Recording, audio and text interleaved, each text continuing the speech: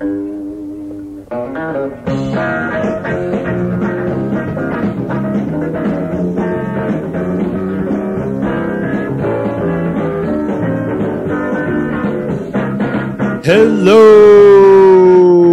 and welcome to the latest episode of the Bad Times Good Stories podcast. How is your Wednesday going? Or Tuesday night, depending on when you're listening to this, or Thursday, or Friday, or Saturday. You get the idea. Whatever day it is that you're listening to this, I hope it's a good day. Things are going pretty well for me. The uh, allergies are kicking in. I think it's ragweed. I should know that what I have. I wish I wish I could put that on my my driver's license. You know, like blood type, organ donor, allergies. Today on the show, we've got Cameron Abdo, who is a nature and hiking enthusiast here in Los Angeles. You may not think LA is is a hotspot for hiking, but the cool thing about this city is that there are mountains within a mile of the heart of Hollywood. And you can see them, and they're very pretty. But he expanded beyond sort of those tourist and local hotspots and has ventured all over the state. His Instagram page, SoCal Travels, documents his adventures. And he decided to outdo himself by hiking Mount Whitney, which is the highest summit in the continental United States, with an elevation of 14,500 feet. So that's a big mountain. He decided to hike it, put his life on the line, and he goes into details about how precarious the situation was. He hiked this in the off season where they don't necessarily encourage it because there's rain and snow and sleet and ice and wind. All things that can make it tricky when you're hiking up a mountain and if you slip, you're dead. So a really great story from Cameron. I talked with him about the fact that, you know, there were several times where he thought, oh, this could be the end. And I thought, what a bummer it would be to have actively chosen to put yourself in a situation that could kill you. Didn't need to do it, but he really wanted to. And I have a lot of respect and admiration for him.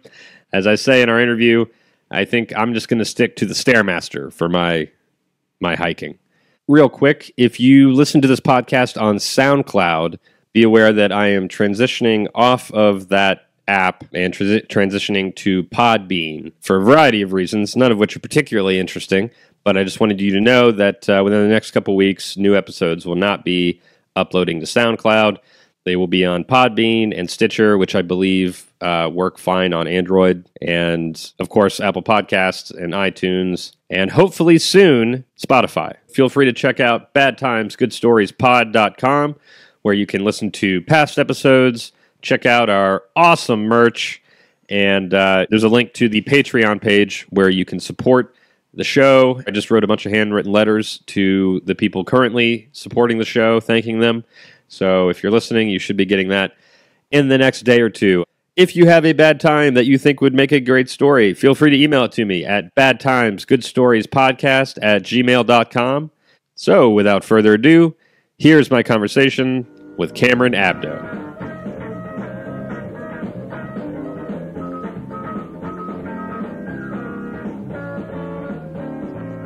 What'd you have for breakfast today? Nothing. Nothing.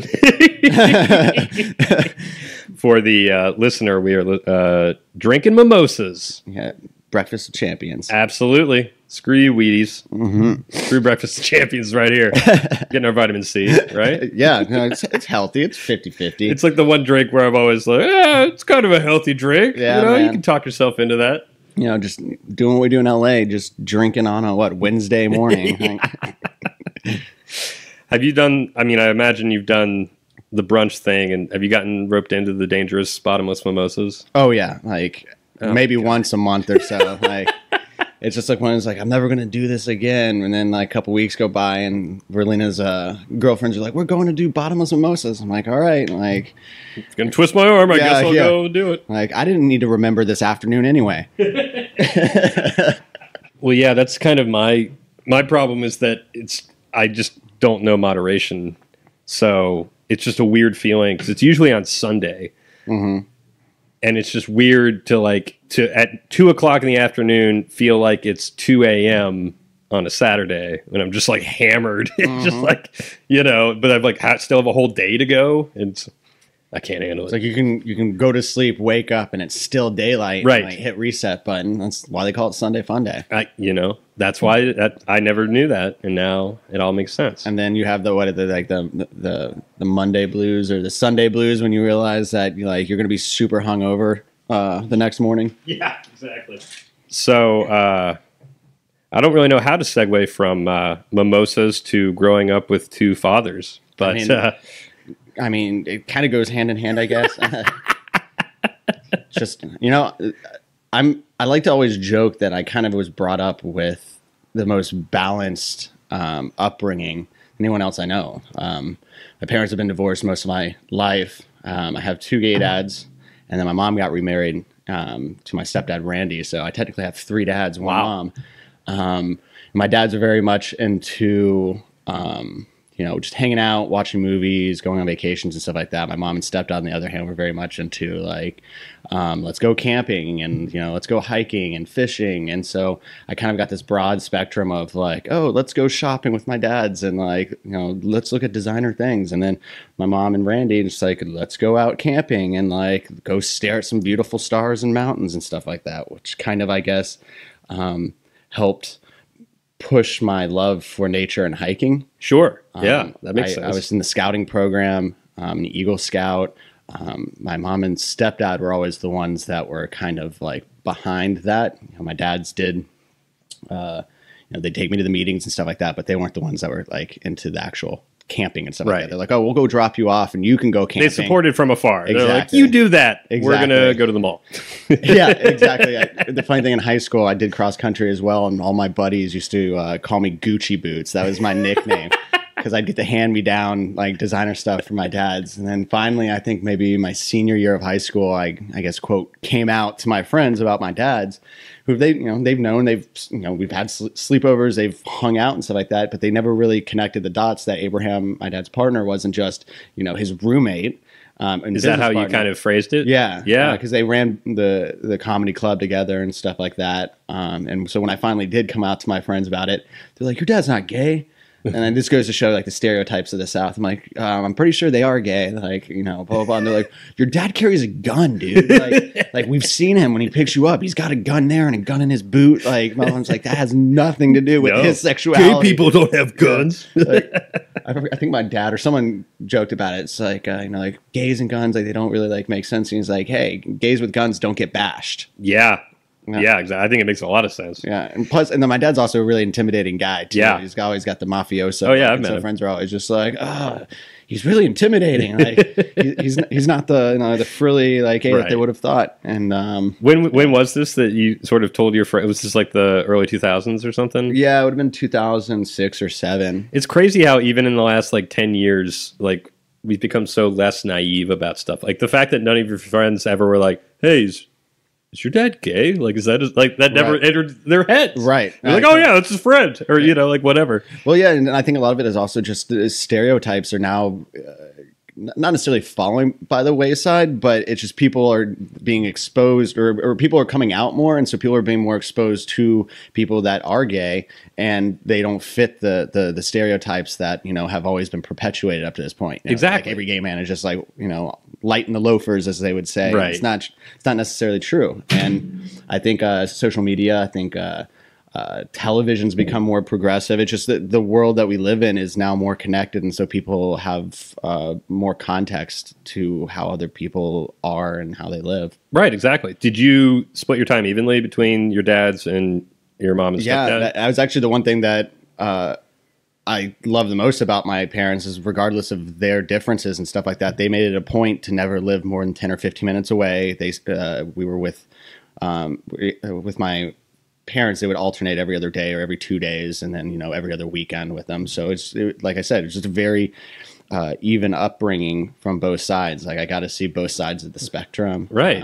and so yeah like it's uh, and then coming out here was a really big eye-opening experience because my family still lives all the way in Georgia, and so coming out here and really kind of like it's like taking blinders off. You're like, oh crap, like people like have no problem being who they are out here. Right. Where, whereas in the South, it seems like a lot of people are pretty closeted, not necessarily about their sexuality, but just closeted about who they are. Everyone's got to have their front. Right. It's too bad.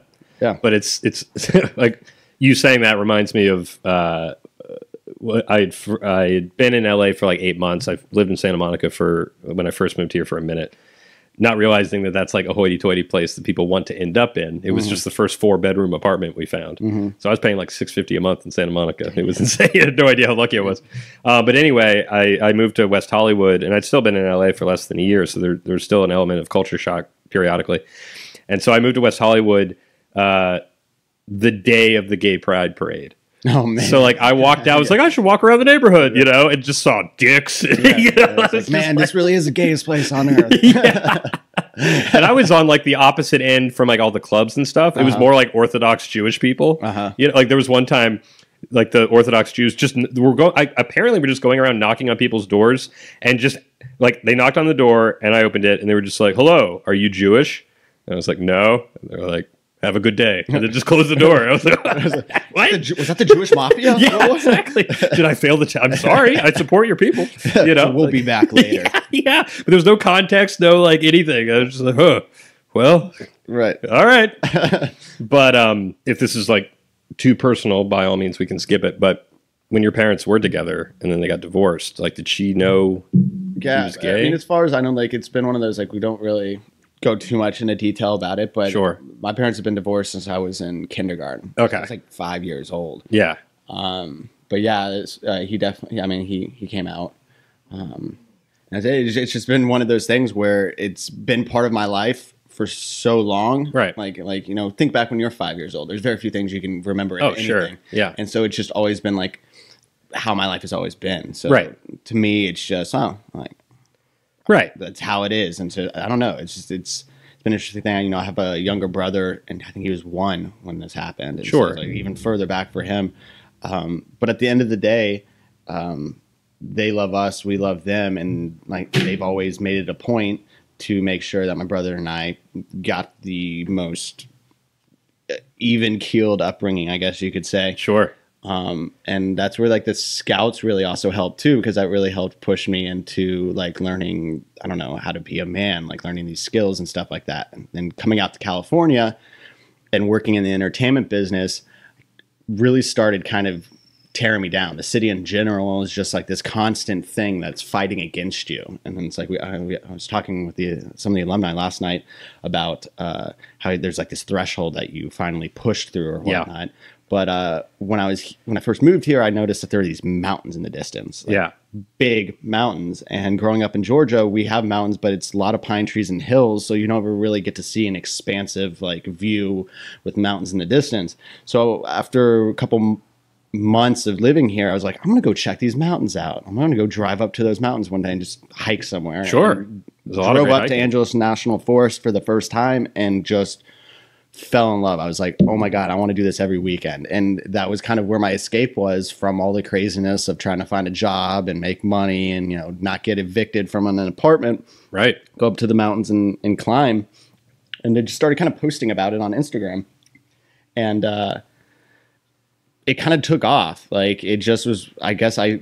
I I got bored with like the hikes that everyone was posting, you know, Runyon Canyon, Right. you know, and Griffith Park and stuff like that. And so I started posting about places that no one had seen or heard of before, and it kind of just started building up. And I'm like, man, like I could do a little hiking blog because at that point, you know, there was only a few like Modern Hiker and stuff like that. And uh, so people started following, and next thing I know, I was racking up the the followers. Um, I'm up to twenty three point like seven thousand right now, I believe.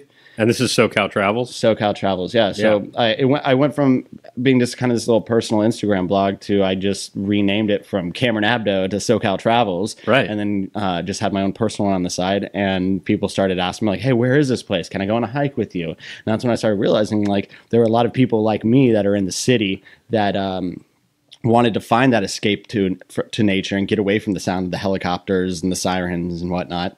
And uh, through there, I met lots of really great people that do do like badass hikes and stuff like that. And um, one of them uh, Will from Adventure Rose uh, reached out to me about two and a half months ago, uh, three months ago, uh, three months ago, and he's like, "Hey, dude, we're gonna be climbing Mount Whitney in a couple months. Uh, we've got a crew of like eight people. Would you be down to go?" Um, and I was like, "Okay, yeah." And like at that point, I knew it was the tallest mountain in the the, the continental United States. But Yeah. it was one of those until I actually started watching the videos and like reading the reports and then reading all the gear I was gonna have to like bring. I was like, "Shit!" Like this is really intense. And so I spent about three months training for it, like every day doing like interval training, uh, then on the weekends doing high altitude climbing, going up to Angeles and trying to like do 8,000 plus feet and kind of building it up. Yeah. Because all these guys that I was supposedly going to be doing this hike with were all hotshot firefighters, paramedics, and stuff like that. And like they're they're just crushing and um, peaks that are like ten thousand plus, twelve thousand plus all the time. Like, And oh my it's god, like their job to be in good yeah, shape. Yeah, I was like, I can't be the, the the greenhorn that's out here holding the the group down. So that was really like my it's pressure. motivation. I was like, all right, like they they've seen my hiking blog. You know, I don't want to be the guy that's got like twenty three thousand followers, like and then shows up and can't freaking even get his crampons on or hike the first mile up like the the the route.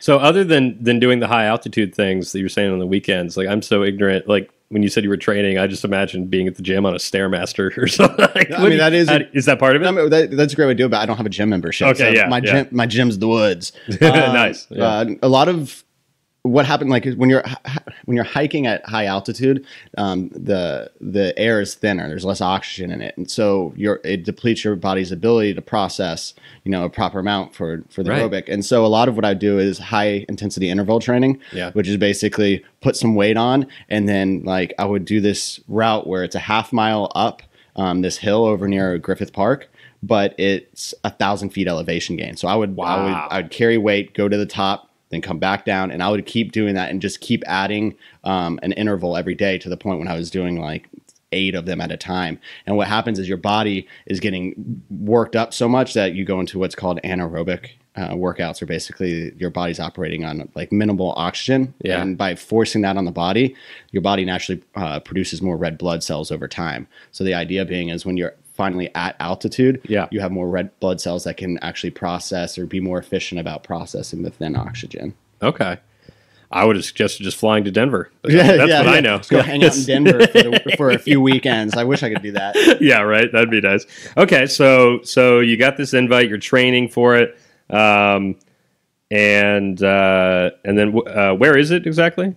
Uh, it's in the Sierras, so it's about a three-hour, three and a half hour drive from here. Okay. Um, it's uh, located in like right outside Lone Pine, Okay. California. So while you're you're driving up there, are you feeling confident? You feeling good? Well, Like- funny enough, so I, I'm talking to the guys, and we're basically all this is going down in the DM. It's just like a big group chat that's going back and forth.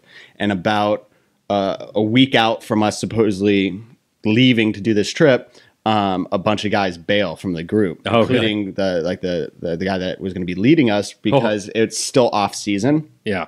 And so there's this highway uh, called the Portal. It's like a nine mile stretch of highway that leads from the town all the way up to the 8,000 foot uh, trailhead.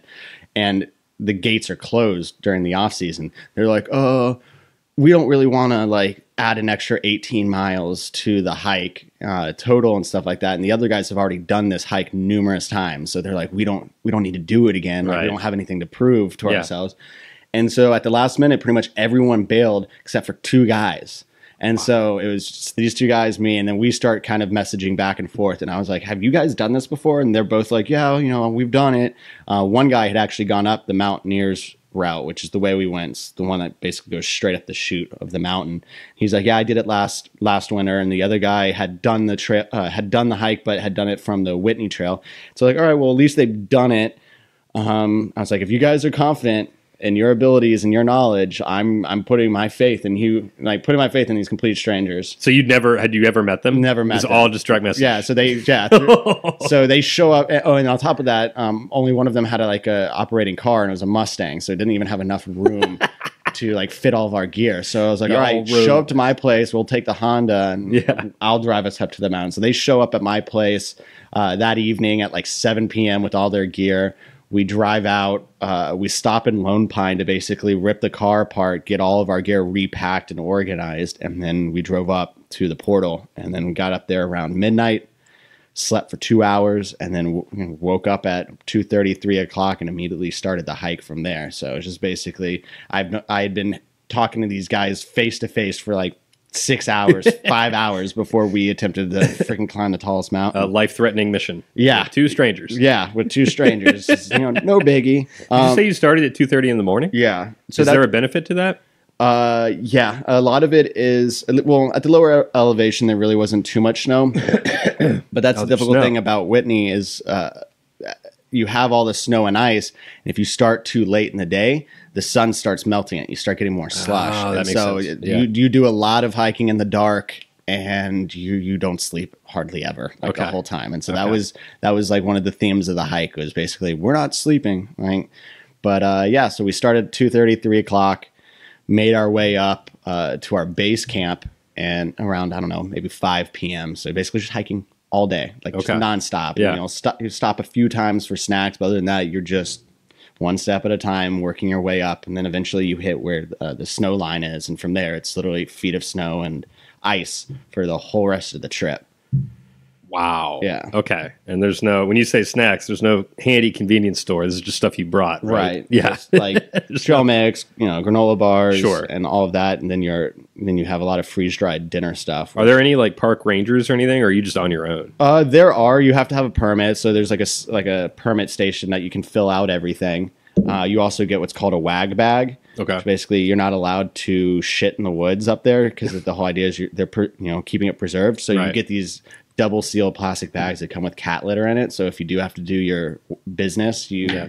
poop in the bag and then you have to carry the bag with you the whole time. Nice. Yeah. Yeah. Old hot bag. Yeah, exactly. and uh, I was like, please don't let me have to use this thing. That was like the one thing I didn't want over everything else. Like I wasn't thinking about falling off the mountain. I wasn't thinking about, you know, getting like hyperthermia. I was just like, please do not have to crap in a bag during this trip, which I successfully did. Oh, bravo. Um, which funny enough, the reason why is because I didn't eat enough calories the whole time. And Oh. so I ended up like towards the end of the trip, anytime I would sip water or something like that, I would immediately like feel like I was having a heart attack. Yeah. Just like the worst freaking uh, like acid reflux you can imagine. Yeah. And it wasn't until like I got back home and was able to Google stuff that I found out that my body overproduced acid because I wasn't putting enough food into it um, versus how many calories I was burning. And so it, uh, that stomach acid was just giving me acid reflux for even days after I got back. So like I was just basically eating soup and yogurt for like Right. three or four days when I got back home just because I couldn't physically eat like solid food. Okay. So note to anyone that's listening, if you want to attempt Whitney, make sure you eat your proper meals at night and just at the end of the day, I was so tired and cold. I was like, oh, I'll just eat some peanuts and I'll be fine. I'll go to sleep. Like, How long does it generally take to get to the top? Um, in the summer, people usually do it in one day. Oh. We saw a few people while we were doing it that were attempting it one day, and uh, a couple of guys had skis on. So they they were like, "Yeah, we're gonna go to the top and then ski down." Like, that's really smart. Why didn't we think about that? um, but it took us it took us two and a half days. We ended Okay. up uh, getting stuck in a really bad storm front that moved in as well. And We're getting blasted by 60, 70 mile per hour winds. We ended up having to spend an extra night on the mountain uh, down uh, in the tree line uh, just because we realized that once you get down to the bottom of the trail, the last couple miles, you have these uh, ledges that you have to navigate where it's, you know, like thinner than a sidewalk and you're just on a cliff. There's no snow, thankfully, but we're like, dude, like, I, like if, if we attempt this in the dark with these winds, someone's getting blown off. It's just not safe. So we ended up getting to spend an extra night out, which was kind of cool. But How the same- fast were the winds? 60, 70 miles an hour, like hurricane. Hot damn. Yeah, hurricane. Uh, So you're winds. walking on like you've got like three feet on either like two feet on either side, uh, looking da- like you could fall what hundreds and thousands of feet. Mm-hmm. Yeah, and there's And like s- creek down there and stuff like that, and a lot of big boulders that would, you know, cushion your fall. It was seventy mile per hour winds. Seven mile Wow. per hour winds. Okay. All right. We do the main we do the main hike getting up to base camp uh, day one then we wake up the plan being we wake up at 2 a.m 3 a.m uh, the next day to start the hike and once again the whole idea being is you want to start doing the chute which is the hardest part of the hike um, in the dark when Yeah. it's still good and icy because your crampons which are these little the foot pads that you strap to the bottom of your boots that have like 10 just gnarly looking spikes coming out of it they grip better in the ice um, but we wake up and our tents are basically like waving, and we're like, "Holy!" Like this is when the storm front started moving in, Yeah. And um, so I'm yelling from my tent to there. I'm like, hey, are we going to attempt this? And they're like, no, we're going to give it like an hour or so and see what happens. And like an hour and a half later, the winds finally died down enough for us to get out of the tents and, you know, get strapped up and ready to do the hike. Yeah. Uh, we make it up to where the, the chute is. And it's a, I think like a 1500 foot like elevation gain, like maybe over a mile or something like that. It ended up taking us like five or six hours just Yeah. to, to make that chute. And it's pretty much vertical. I mean, like you- you've got your ice axe, your crampons, and you, every time you look down, it's one of those like if you fall, you're falling. Like you can do what's called a self arrest, where you use the ice axe and you use your body weight to kind of leverage it into the snow if you're sliding. But at that type of incline, if you don't get the ice axe in fast enough, you can like reach 40, 50 miles an hour within like 20 feet. Wow. Um, and it's because you're wearing all this snow gear that's designed to be water resistant. So you're Right. basically just lubed up when it comes to snow and ice. And Right. So it's one is you have to get the ice axe in pretty quickly. I'm basically just imagining the movie Cliffhanger, but with snow. Yeah. like you're just uh, hanging down the edge yeah, at all times. Very similar. And then you also, because you have other hikers going, and this gets to another reason why it's important to kind of do this hike in the dark as much as possible because uh, as the ice and snow starts melting and loosening up, it's a lot easier for other hikers to kick out snow or ice. Right. And like I said, you know, like that stuff speeds up really quickly. You know, Yeah. the snowball effect, like it's like I got a firsthand like experience of like, oh, that's that's what they mean by this snowball effect because you'll hear someone a couple hundred feet above you yell ice or snow or rock, and you'll look up and you'll watch, you know, I don't know, a softball sized thing of snow or rock just bouncing and picking up so much speed that it's um uh, it's going like 30 feet before it hits the ground again. So just boom, boom, boom, all the way down. You're watching people dodge it. And you, know, you got helmets on, but those helmets are designed for one impact. So if you catch it to the, the helmet, it'll split it open, and then then you got it. helmet. So it's like, um, so we we fought through that, got to uh, got up to where the notch was, and then there's the five uh, the final 500 or so feet to the summit.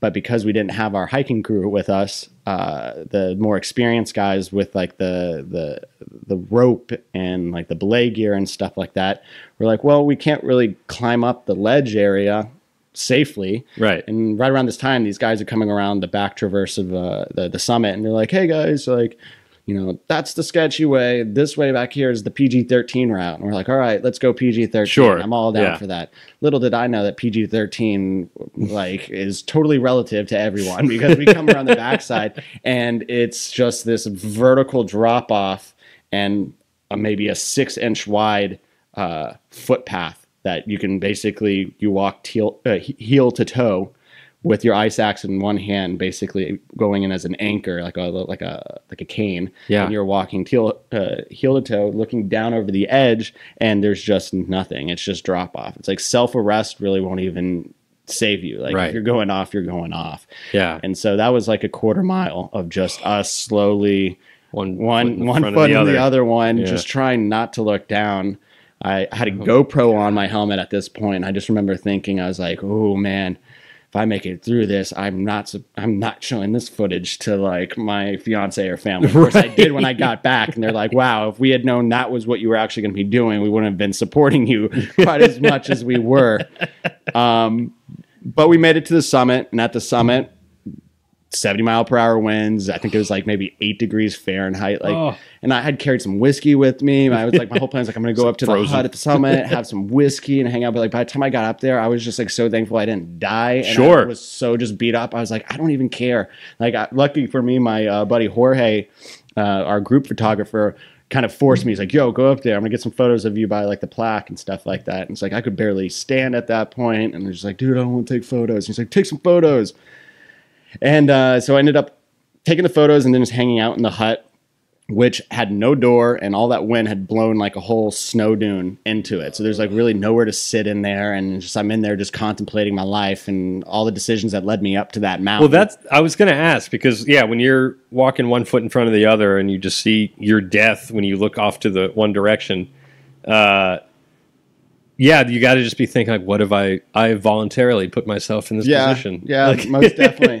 it's got to be scary. and I'm having to use my less less uh, less dominant hand with the ice axe to do it. And Right. Then, and then we're up at the top and i and i told uh, our leader elliot i was like yo dude i'm not going back that way. I was like i i don't say this lightly but i legitimately thought i was going to die in a few places. Yeah. he's like dude like we have to go back that way. It's like, it's like we can't rappel off the normal part you know and it's with the wind it just wasn't safe to attempt actually because that the, the other route is literally it's class three scrambling. You're almost you're vertically like rock climbing at that Yeah. point and he's like, well, at least you get to use your right hand this time. And, and it's just like, it was, and so that was the hardest part for me because I knew what I was going to have to go through. It was different when I was coming because it was like, oh, just around that bend and we'll be done. Of course, Right. we get around the bend, we're not done. But Right. like the unknown allowed me to move forward. But now Right. going back, it was like, it was an adrenaline rush before we even started, just because like I, I was just like, I can't believe I'm having to do this again. It's like Right. I, I feel like I, you know, I won the lottery by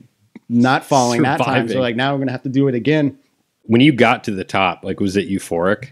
Was it just like, No, it was it was uh I was so beat up. And like another thing too, like when you get up to the top, it's it's nothing but a field of boulders with like two or three feet of powder in between Yeah. every boulder, and you're wearing crampons. Yeah, So your feet are already hurting, but you have to walk on the rocks with these steel, Oh, with oh, these like shit. steel freaking spikes, yeah. and so you're feeling every spike through the sole of the shoe, and you're kind of having a leapfrog from one to the next, and it's a good half mile or so up from where we came up to where the hut was. So by the time I came up to the hut, and I actually have this uh, footage on my GoPro. I didn't realize it was still recording at the time. I just like make it up to the the hut. I'm leaning up against the door frame, and Elliot, our leader, had already gotten up there before us, and he was boiling some snow. That's another thing. Yeah. not a lot of water up there. Sure.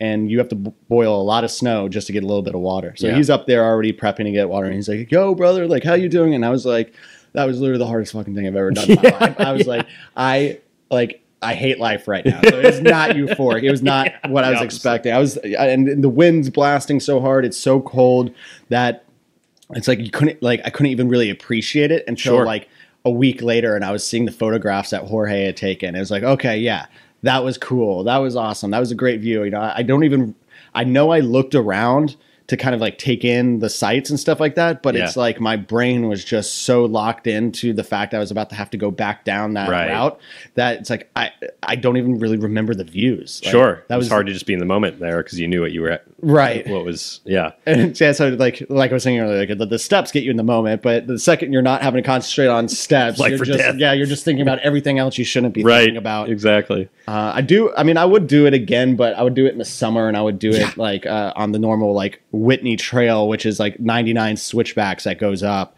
Um, but yeah, that gives you gives you a lot of respect for Mother Nature too, because you realize Yeah. the mountain doesn't give a shit about you, Right. your family, like your experiences, like it, what religion you are. If you're gay or straight, that mountain will kill you the same way it'll kill anyone else, and and that kind of thought is like what really kind of builds up the respect for me and and the mountains I climb. It's just like it, it doesn't matter if you're hiking Griffith Park. People get airlifted off, uh, out of Griffith Park Right. like once a week Yeah. now. Just tourists going out and, that, and like with tennis shoes and not knowing where they're hiking and just so it's like a little park like Griffith versus Mount Whitney will kill Right. you just as fast Yeah. if you're not prepared or you know Right.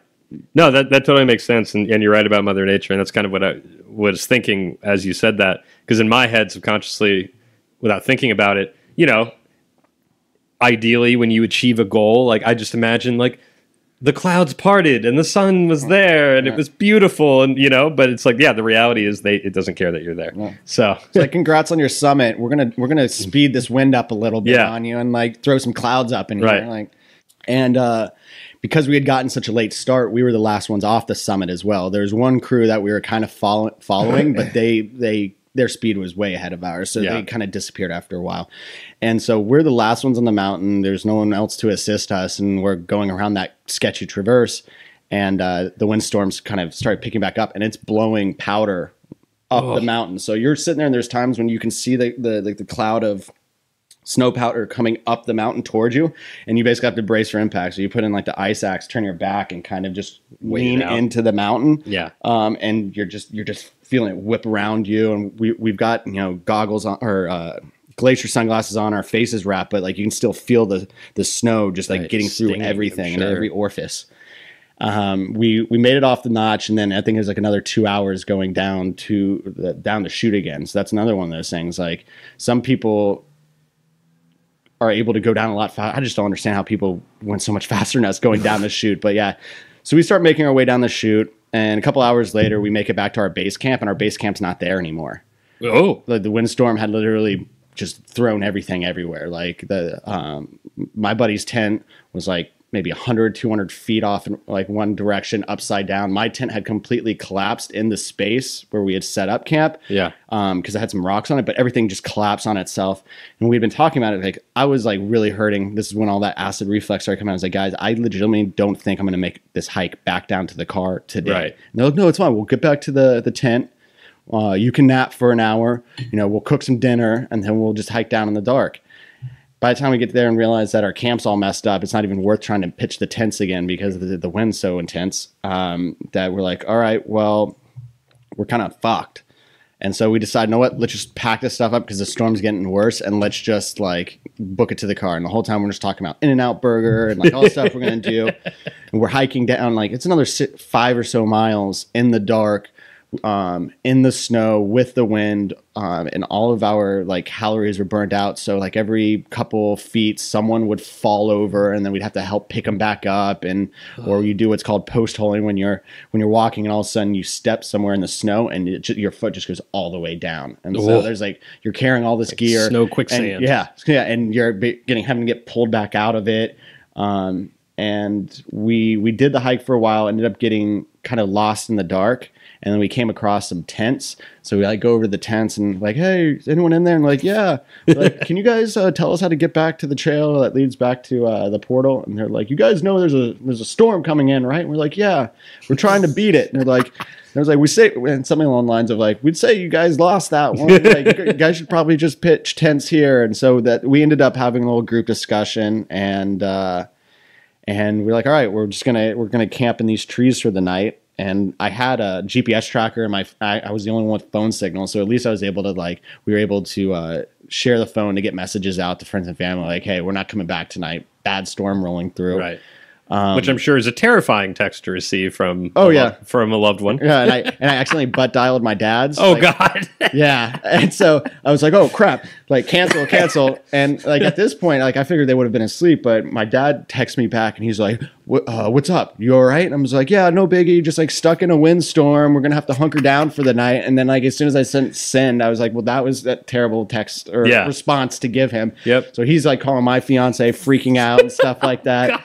And my fiance's like, it's fine, it's fine. Like, you know, I'm pretty sure they're just gonna like set up tents and some trees. Like, you know, it's not like they're on the summit of the mountain Right. having to ride out the storm.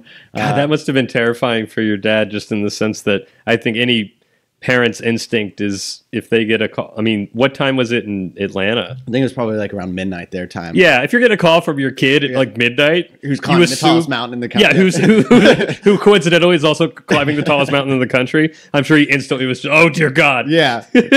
and I had this little GPS tracker that um, drops coordinates every five minutes automatically. And the whole Yeah. idea was I had a link on SoCal Travels. So anyone that wanted to kind of follow our progress could, you know, w- watch along. My dad's like, make sure you leave the tracker on like overnight. I'm like, okay, fine, like whatever. But I forgot that I had it in the automatic setting. Yeah. And so for like nine hours, 10 hours, anyone that was kind of following along basically saw us coming down the mountain. And then right near where you get to the cliffs, it just stops moving for like nine, 10 hours, just giving off a coordinate. It's like, oh my God, like it looks like I fell off the mountain. And like, God.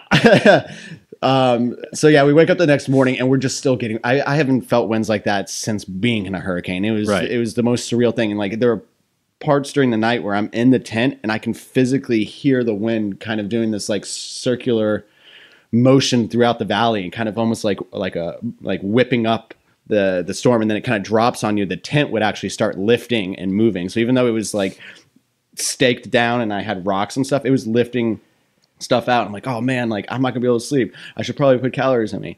So I'm like trying to eat some trail mix, and my body just rejected any kind of solid food at that point. So I immediately got the sensation that I needed to throw up. So I unzipped a tent, forgetting that my hiking boots are right there, and just vomit completely into my boots.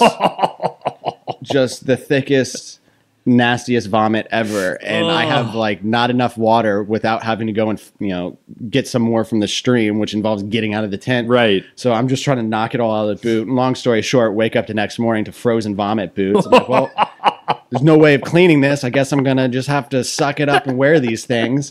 it was like it was the the lowest part of the whole freaking Putting like, on vomit boots. Put on frozen vomit boots. This sounds like you're like from the point of view of being in the tent. It sounds like you're just in the middle of like Twister. And Yeah, Bill, Bill like- Paxton's just going to show up Yeah, at any dude, moment. Hi, I'm Bill Paxton.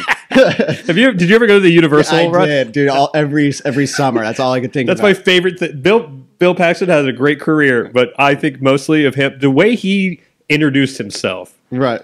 It's it's stuck What, with me what for was it? years. It's like, hi, I'm Bill Paxton. Yeah, it's just- yeah, it's- like you know, we're talking about like uh, Mother Nature's like most violent thing. Yeah. twisters. It's like- just the way he, the power with I'm Bill Paxton. oh man, I wish Bill Paxton would have knocked up my tent. Oh, that, I was like I would. That's when I know I'm fucked up. yeah, exactly. Philip Seymour Hoffman's in the van, ready to go. We're going deep with the Twister uh, Oh, references man. here for the audience.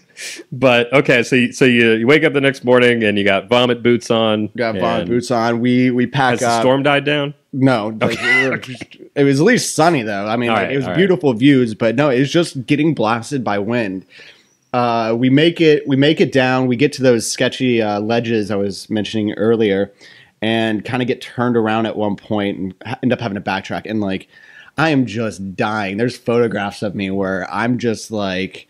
You can tell, like I, I even joked about it, or not joked. I was half serious. It's like I'm like this close to just pushing the SOS button on this GPS beacon and just getting freaking picked up by a helicopter. Yeah. Like, I- it's like, I'm I'm paying for the the rescue insurance. Like I have no problem uh, pushing this button. That would be pretty badass to get air. I mean, I, on one level, if you're going to like give up, being airlifted out in a helicopter would be pretty badass. All right. Like On the other hand, it would be- the, the reason why I got the GPS beacon was because one of the reviews was a dude that had been hiking out in Angeles Forest, and he goes, uh, like, you know, I broke my ankle hiking and had to use SOS button. Safe to say it works. And he uploaded a photograph with the review of him below the helicopter getting airlifted out, like giving the rock star Yeah, things. And he's exactly. like, he's like, I literally would bet my life on this thing. like, all right, like that's a that's a really convincing review. Yes. Um, but then in the back of my mind, I also realized that you know it's like I have these two guys that are relying on me. They're Right. pushing me, and without them, I probably would have given up. But they were their positivity and energy was like, no, dude, we got this. You got this. Like, you know, they'd help me up when I'd fall and stuff like that. And I just realized, like, if I bail out now, just Right. like I've already done the hard part. It's Right. just I just have no like energy to burn, and it's like so. Uh, and on top of that, I just don't want to be the guy that's got the SoCal Travels account and does all Right. the hikes that, and was like, oh, he had to get airlifted out. Like, Right. Unless I was seriously hurt, I realized it's like just gotta push through it. We uh, passed two groups of hikers going back up, and we're like, you guys better be careful. Like, there's like a big storm moving in, and like, uh, we finally make it down to the trailhead and look up and just see these massive clouds starting to like roll out over the mountains. Yeah. So we get down to the car, just literally strip off. I literally had been wearing clo- the same clothes for like three days. Yeah. You're just wearing snow pants and then like a long underwear and a couple other layers and just, you just, just, you're just sealed into this outfit. Like even when I was sleeping, I would just get into the sleeping bag with everything on. So the first thing we do is basically strip down to our underwear once Right. we like get to the car. It's like stripping the mountain off of you. It's just like You get got the shit off of me. Got the heated seats in your car by any chance? No, got a 2000 Honda with cloth with cloth seats. Uh, so we make it we make it down to Lone Pine, the little town, and we're like, all right, we're gonna stop. We're gonna get some beer. We're gonna get a burger and hang Yeah. out. And we, Yeah. we recovered for about an hour or two before driving. And as we get onto the highway, we come across what I thought was like a DUI stop, like checkpoint or something like that. And highway patrol is basically forcing anyone that's got a car bigger than a van Yeah. to pull off on the side of the road because the winds are so strong. So for as like far as you could see down the hi- this stretch of highway, it was just semi trucks all parked along the road. That's gonna be eerie. Yeah, super eerie. And so we're driving, and they let us through, and we're the only ones on the highway at this oh, point. Oh, wow. And we look up at the mountains, and you can no longer see the mountains because these black clouds had moved in over them and Yeah. we're kind of like engulfing it and that's when we realized like oh man we better like check the reports and stuff like that because there's two groups of like hikers that are doing this thing and the guys seemed like they knew what they're doing like uh, we actually did some drops for like uh like gear and stuff like that so they they had already like preemptively gone up and put some stuff up but um after what we went through when it was sunny in the wind, it's Right. like, man, like we like got out by the skin of our teeth on that one. Yeah. If we had been, you know, if we'd started a day later or ended up having to spend more time on the mountain because of the wind moving in, we would have gotten caught in some pretty gnarly. I don't know if it was like they got dumped on by snow, rain, sleet, but it it, it didn't look like it was just going to be wind for the next couple Right. days. And like It was the whole UPS or uh, USPS motto: yeah. snow, sleet, Right. rain, they'll deliver it. Yeah, exactly. It's like, hey, but I live on Mount Whitney. Can you, you guys still like? I live on top of the yeah. Let's really challenge that that cre- that credo. yeah, It's like my tax dollars pay for your salary. Like, let, I want to see you work. Uh, but we made it. Got a hat out of it. Like first thing that was like, we need to go to a souvenir shop. I'm buying a hat that says Mountaineers Route Mount Whitney because that was by far the most dangerous, but one of the most spiritually like awakening things I've ever done. Like, because you retract into your mind so much, Right. Like when you're when you're like when you're like concentrating on trying to just get a breath. I mean, there were a few times where I literally it would take five steps and have to sit there for like thirty to forty seconds just to get a couple breaths in, then do another five steps, and like that's where like the process really becomes foot one foot in front of the other. Like, Trust the process. yeah, trust the process and the training. Like that was the other thing. Like even as much as I trained, I feel like I could have probably trained better Right. because those guys crush it. The Jorge and Elliot absolutely taught me what it means to to hike as a team. And like those guys were strangers, but within the first hour of us having to start the hike in the dark, you know, you become a tribe real quick. Well, I was going to ask about. I mean, you know, this is taking like uh, what like lame team building exercises to a whole new level, where it's just like two guys you've never met before. Did you have to really rely on each other to get through it? I mean, Oh, like, how do you like how? Well, I mean, like everything from just being able to communicate, like Right. knowing what to say, like and, and stuff like that. Um, uh, Elliot was an, is an EMT, and so like that was like kind of a, uh, like an assuring thing to have. It's like, Yeah. all right, well, at least if I fuck myself up, you Yeah. know, he, he can like you know patch me up.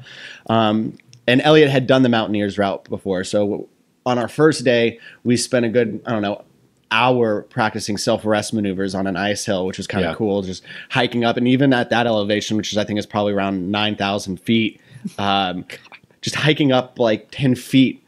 You're just immediately out of breath and Right. winded, and Yeah. so we'd practice. I'd hi- hike up like 100 feet, and he's like, "All right," like you know, he made sure that we were all comfortable doing the self arrest stuff, and he'd be like, "All right, I want you to slide down on your ass, but I want you to pick up speed and come down all the way to where this rock is before you attempt to self arrest."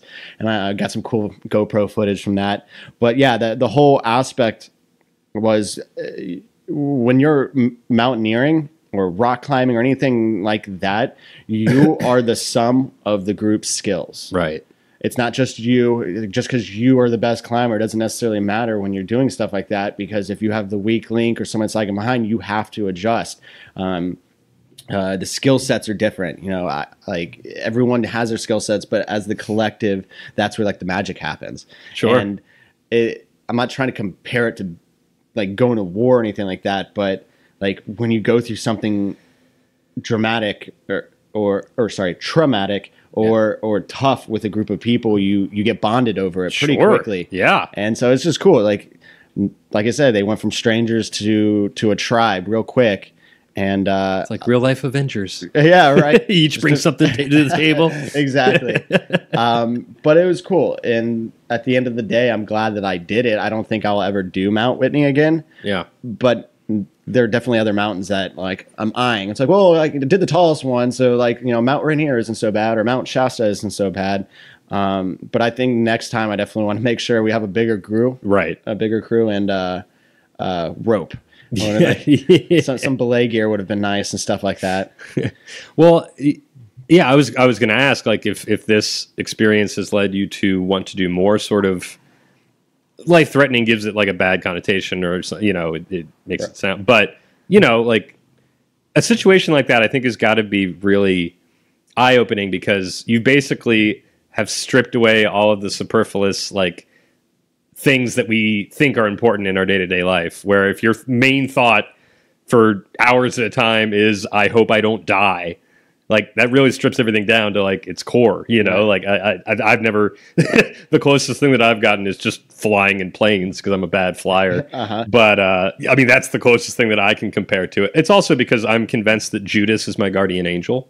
Judas. Yeah, yeah, the Judas that you know uh, betrayed Jesus. Right. Um, uh, just because things happen. I mean, I was right out of the womb. I was born with club feet, so I got to work cast for the first nine months of my life, and then just you know my day to day life. I feel like there's just somebody fucking with me, and like the day I was born, there was just the, the angels and guardian angels. They were just like they couldn't take on another another individual, Like, so "Hey, they were just Judas, like, you gotta uh, get this kid. yeah, exactly. Yeah, he was just at the bar or something. like, yeah, I'll take him.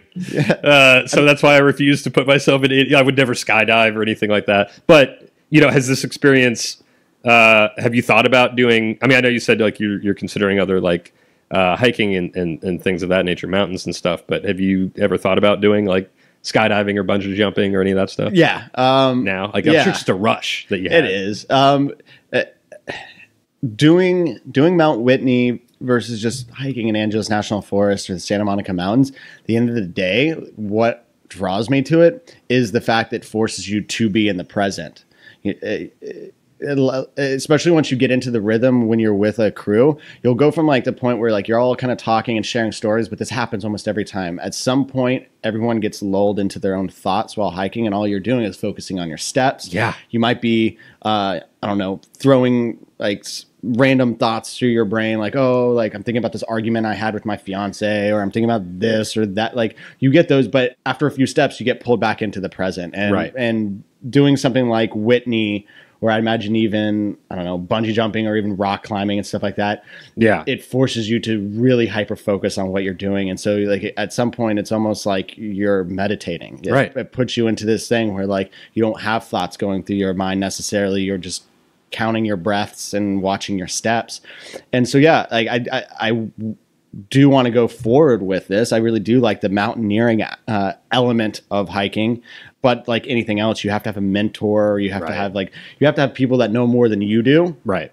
that can help you progress and learn. And that's very much what uh, extreme outdoor sports are. It's Yeah. it's like a mentor mentee kind of thing, like young grasshopper. Like let me show you how you like tie in and like you self arrest and and that's what I like about it because I don't always want to be the expert. Right. Like, if you're if you're the smartest person in the room, you're in the wrong room Right. and and so through these experiences i get to go hang out with other people that are more experienced and more knowledgeable and at the end of the day i just want to keep learning like that you know that's that's what we're supposed to do right like Yeah. learn like if you don't learn something new every day i think you're you're failing Did you say that somebody died on it?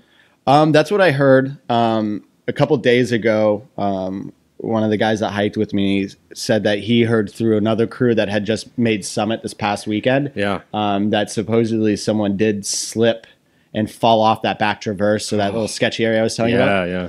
But um, the search and rescue and sheriff department websites for In- Inyo National Forest haven't been updated since like 2017. So there's like nothing in the news that I've seen. Um, there's nothing in the the incident reports that I've seen. But um, one of my followers, I reached out to because I saw that he had made summit. He did a solo summit, so he Oh, did it on his own Yeah. uh, no crew. And I was like, "Yo, I heard through another another source that someone may have potentially fallen near the summit. Did you hear anything about that?" And he was like, "Yeah, uh, another crew that I passed came around the, the like the and told him. I think they came around the notch. Maybe I could be wrong on that, but he said basically ran into a different crew, and he said that they looked shell shocked and they and they were like, uh, w- "We lost someone. Someone fell." Um, if you if you see any of the gear, please try and collect it. And he said that he did find a he there were two ice axes that were in various self arrest positions, Yeah. but no one around. And he said that one was too far down to recover. He was able to get the other one. Um, so I mean that would indicate that someone Yeah. did fall, but like I said, I don't know for sure. It's been hearsay Yeah. so far, but uh, it, it it really puts it into perspective when you think about that. Uh, it uh, it's just it's one. It's like why would you continue to do hiking like that if you know that happens? But uh, you know, at the I, I I forget forget the name of the guy. I want to say it's the the first person that was uh, that climbed. Uh, Everest or recorded uh, a summit of Everest.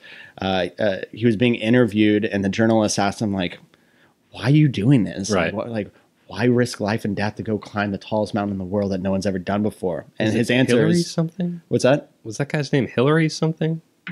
Honestly, I should know this. This is ter- I'm going to blame it on the mimosa. Yeah, that's fair. Anyway, sorry, I cut you Uh, off. but what did you his say? response was just because it's there. Yeah, That's it. Just 'cause Yeah. it's there. I mean, like there is no other, there is no logical reason to put yourself in the position. But I mean, statistically speaking, you have a better, better Right. chance of getting in a car accident driving to the mountain than actually dying Sure. on the mountain yeah. if you're prepared. Um, Wow. but that's it. And, Yeah. And now that I've done the taller one, I uh, I would like to go do ones that aren't quite as tall, but Right. would offer um, equal opportunity for experience and, and growth. Well, that's a pretty incredible experience you had, and uh, I admire you for it. It's uh, a hell of a thing to do, and something I'll probably never do. So, You can you can look at my photos on SoCal Travels. And there you go. yeah, yeah, definitely. You don't need to climb the mo- mountain to see the top. I'll uh, I'll stick to the stairmaster at the gym. um, but yeah, thanks for coming on, man. This was an incredible story. Um, yeah, just one more time, where can people go to follow your adventures? Yeah, you follow me on SoCal Travels. Uh, we're both on Instagram and Facebook, and we'll be having a website launching in the next couple weeks. Okay, cool. Thanks for coming on. Dude, th- thanks for having me. Really appreciate it. That was the episode. I hope you enjoyed it. Thanks so much to Cameron for coming over and bringing over the mimosas. It was a nice chat. Definitely a lot a lot of respect to him for, for doing that and continuing on his SoCal travels.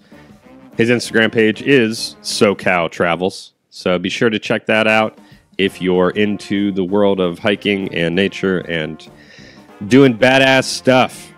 In the conversation, we mentioned uh, Mount Rushmore, and it was Edmund Hillary and Tenzing Norgay who were the first two people to uh, conquer that beast. I did want to mention uh, in the interview, I asked him if if anyone has died recently at Mount Whitney, and he said that uh, he thought somebody recently had, but it hadn't been confirmed. Turns out it is now confirmed. One of the hikers passed away while um, hiking up the mountain. So if you're considering tackling something as, as mighty as Mount Whitney or any thing that may put yourself in danger, just make sure that you've done the proper work and uh, be safe out there. So our thoughts go out to him and his family. Thanks for listening. I hope you enjoyed it. Again, feel free to check out badtimesgoodstoriespod.com. Listen to past episodes, check out the merch, support the show on Patreon, get some cool stuff. Shoot me an email at badtimesgoodstoriespodcast at gmail.com. Just a reminder that if you listen to this show on SoundCloud, I'm transitioning away from SoundCloud and moving towards Podbean, which is an app that you can download and is Android compatible. But if you listen on SoundCloud, it won't be there. Past episodes will be there, but future episodes will not be there within the next uh, week or two. So make that move. And until next Wednesday, keep laughing.